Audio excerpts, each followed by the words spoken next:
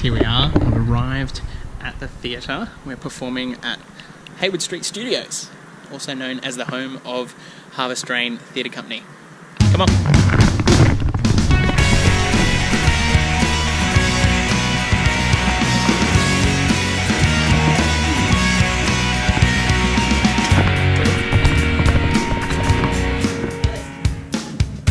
Hey guys, I'm backstage here at Jemma Rix's album launch for her new album called Gravity. And I'm really excited to be helping her out tonight by joining her for her duets.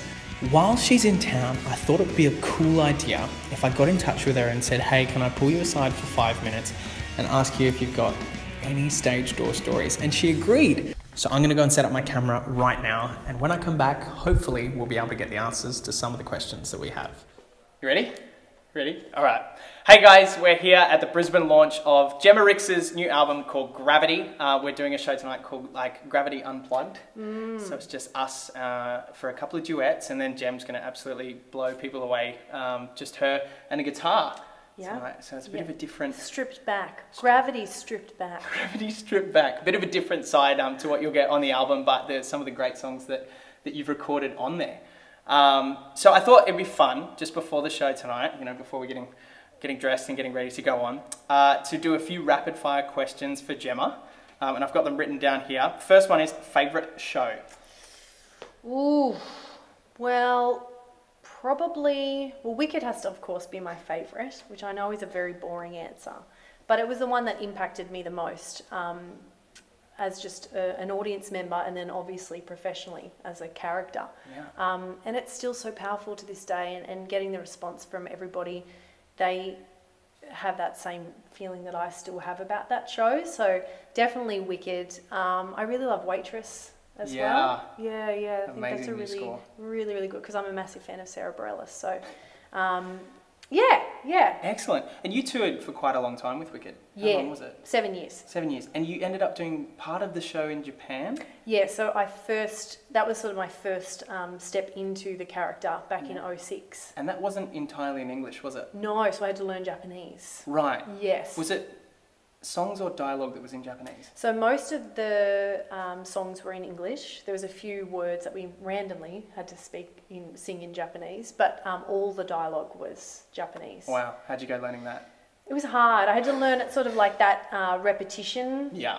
kind of thing. Yeah, cool. um, and then and then once I'd learnt that, then I then had a um, a teacher who then worked on the intonation because they're very tonal with how they Wow. speak. So it's a hard language. yes, yes. Um, but I think I did okay. The Glindas were Japanese. Right. So they would tell us if we said things because there's rotating casts. Ah, okay. Um, and so they would tell us if we did said things bad. Wow. Yeah, yeah, yeah. Excellent. All right, moving on to number two, otherwise we'll be here all night. Favourite role? Whether uh, one that you've played or would like to play? Um, Um, well, obviously, uh, well, I guess playing Molly in Ghost was really challenging. Um, so, and that was something that I knew it was going to be heavy going into it because it's about you know the partner losing a partner, and but I didn't realize how difficult that was going to be.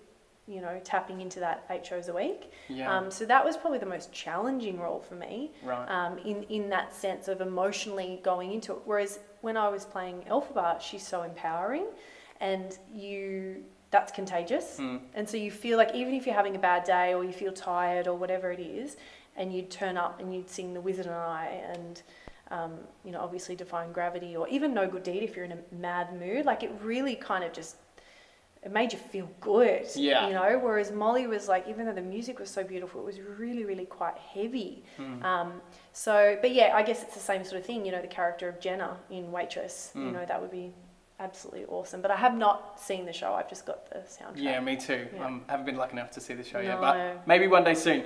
Um, got a funny stage door stories. This channel's all about stage door stories, and we throw in a performance or two along the way. But I've got the opportunity here to see uh, someone who's been to plenty of stage doors.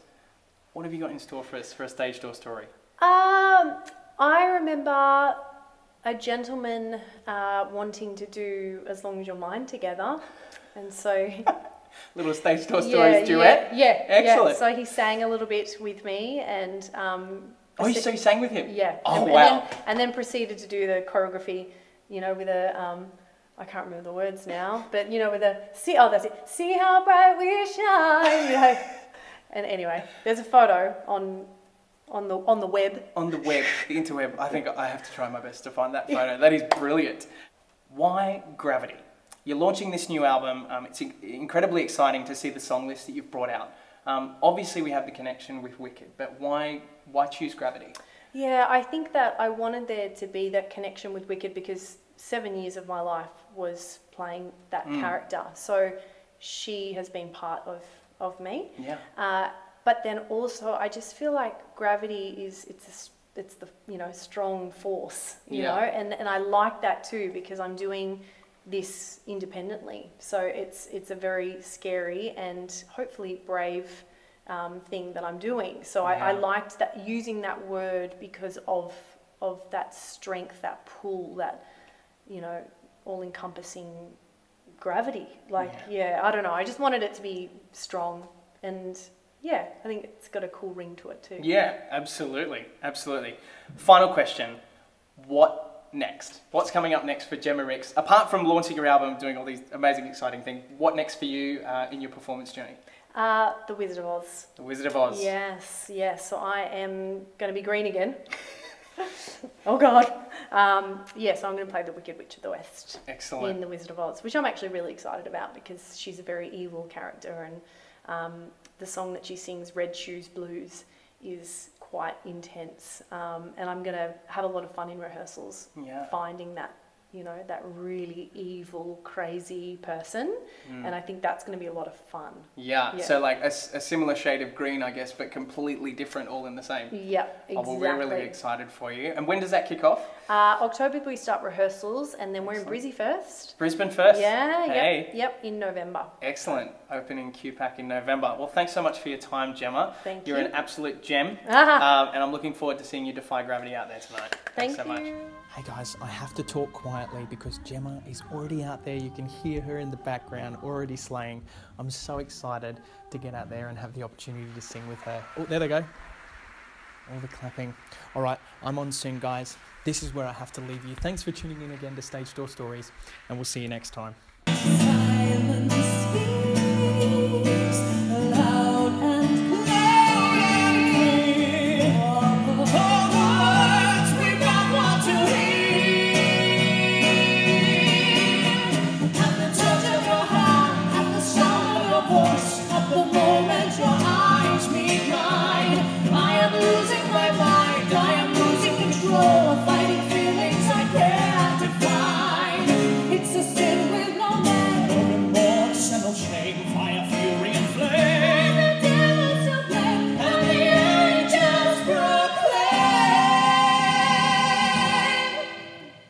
It's a dangerous game.